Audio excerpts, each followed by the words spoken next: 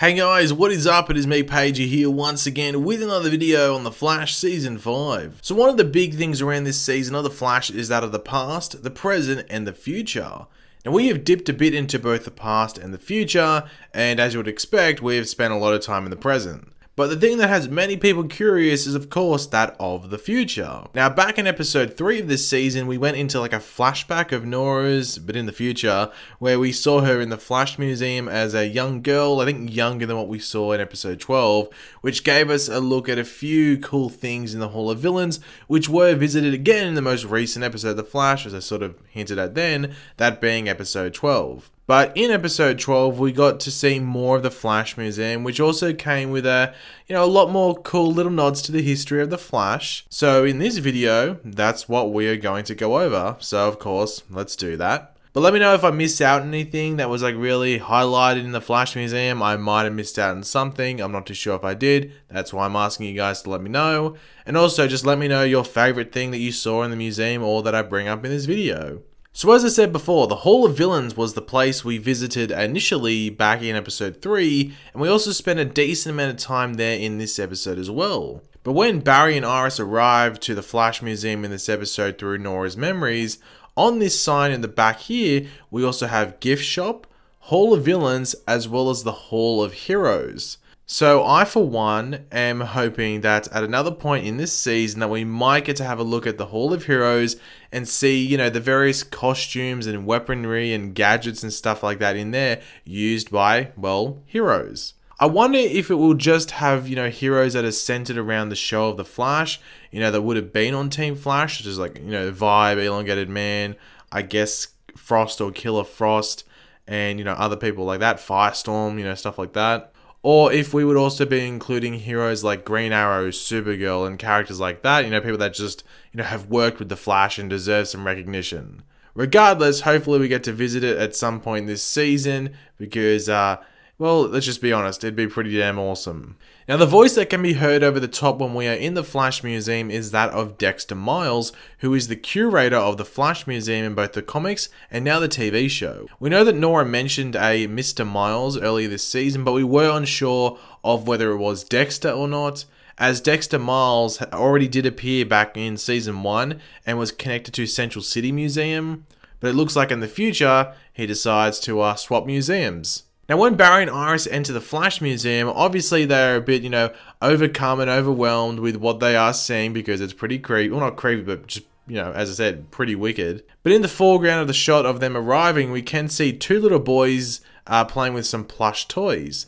Now, those plush toys are of King Shark and Gorilla Grodd, or at least a shark and a gorilla. I think it would have been maybe a bit too expensive to make a King Shark and Gorilla Grodd toy. Anyway. Obviously, these toys are foreshadowing the fight between these two characters that we will be seeing around episode 15 or 16 of this season. Now, throughout the museum, you can also see like various displays and other toys for both of these characters as well. So these two must be some of the, uh, you know, the fan favorites of the Flash Museum for visitors outside of, you know, your main man, uh, that being the Flash, of course. Now, one of the major little references and fun things in this episode that people would have caught would have been when Caitlin and Sherloque were trying to contact Nora, Barry, and Iris inside of the memories of both Grace and Nora.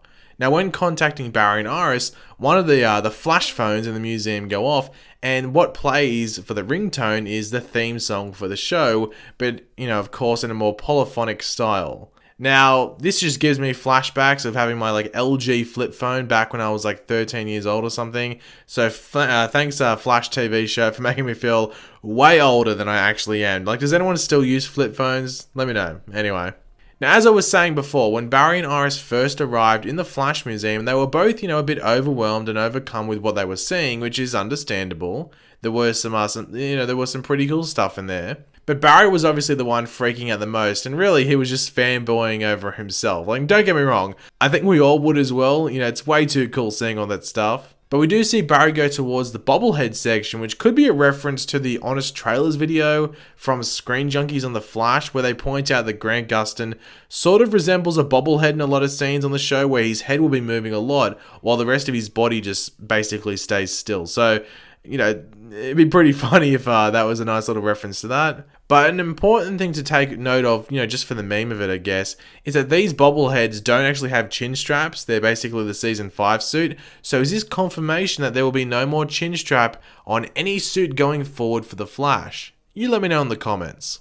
Now, even though this one is an obvious one that I'm sure many, many people know of and have either like watched videos on or researched themselves or both, and that is when Barry and Iris follow the young Nora into the Hall of Villains again, and we see Nora approach the Cicada display again from uh, episode 3, which has changed around a bit, where we learn that Cicada has killed 152 people from David Singh. He tells us this but it's Rising, which is more than Zoom, as well as the Red Death.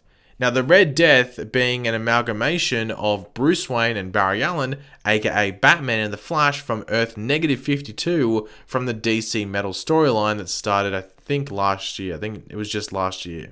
Now, I have done a whole video on that and where that could lead and all various things like that. I will leave a link in the description down below for those that will just care and would like to watch it, I guess. Now, in the Flash Museum, in the gift shop that is, we had some, uh, well, many real life comic books laid out, and I think I got all of them. However, I think there could be more that I didn't see. If I did miss out on any, let me know in the comment section down below because I'm not 100% sure if I got them all. But the ones that I did catch were DC Rebirth number one of The Flash, which, as you would expect from the numbering, is the introduction of The Flash in this like mini reboot uh, reboot thing that they did. And this is the issue that also introduces the uh, what, what, what should we call him? Uh, the infamous Godspeed, and either, you know, the character that either brightened people's lives or turned their lives into a living hell. Now, DC Rebirth number 22 is also seen, which was also part, uh, or a part of the Button crossover with Batman. Some of you might have read that. Jay Garrick is on the cover as this was the issue that he returned in in a pretty epic way. So, um, yeah, there's your little Jay Garrick connection as well.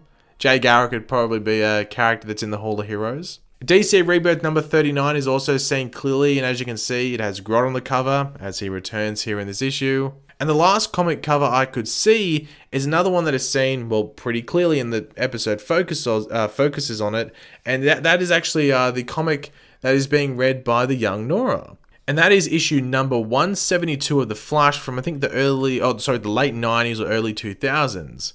Now this comic cover has Cicada on it, as well as Magenta getting ready to sacrifice the Wally West Flash. So this was a cool thing to add to the episode. Now Cicada, for those that didn't know, wasn't actually like that big of a villain in the comics. His arc wasn't that big or that grand at least in comparison to some other villains who haven't even been given like a look in to possibly being a villain on the show. Now this issue of The Flash does highlight the cult of Cicada, you can sort of see it at the top of the issue, which could hopefully be something that we see this season at some point, whether it's through Orlin or maybe through Grace or some uh, something else like that. It'd be interesting to see if they brought it in because the cult of Savitar was never really well embraced and used properly in season 3 so it'd be pretty cool if they were able to use this cult of another villain in a better way. Now we do see a plethora of Flash action figures and toys throughout the gift shop of the Flash Museum. These figures and toys are sort of like a, a mix of stylings from the show of the Flash itself, which is pretty meta, as well as from the comics. Like the comics seen in the gift shop, all these figures and toys are things you can actually buy like right now in real life, like online or in store. So this was like a mini advertisement by Warner Brothers and DC Comics to sell some stuff and clear some stock, then hey, it might work. Now, when Barry and Iris are sort of on the run and hiding from the the, the reverse flash defense mechanism uh, mannequin thing that Nora had set up, we can actually see the final battle from the season 2 finale between the Flash and Zoom playing on one of the TVs. Now, I was like super confused when I saw this. I was like, okay, that's maybe a bit too far. Like, I can take the comics, the toys, and all of that, but seeing that footage uh, was pretty interesting. Just like, just wow. Anyway, it is a pretty quick thing that pops up and isn't like the easiest thing to see just due to like the flashing of the TV and the filter that was put over Nora's memories and stuff like that. And the last thing to bring up that is a sort of Easter egg in this episode actually has nothing to do with the Flash Museum, but towards the beginning of this episode, we see Team Flash go ice skating. And as you would expect, most of them are rugged up to keep warm, and in the case of Ralph, wearing a headgear. But Caitlin is actually wearing an Easter egg, not an actual egg, but Caitlin is actually wearing a take on the bombshell version of Killer Frost, as you can see the two compared here. So I think that is one of the uh, the cooler uh, Easter eggs and little references and just things in this episode. But thanks for watching guys, hopefully you enjoyed the video. If you did, it'd be awesome if you could drop a like on the video show support. Let me know in the comment section down below which one of the things I went over did you enjoy the most, did I miss out anything? Let me know any of that in the comment section down below. And of course, if you are new to the channel, make sure to subscribe. I'll catch you later guys. Goodbye.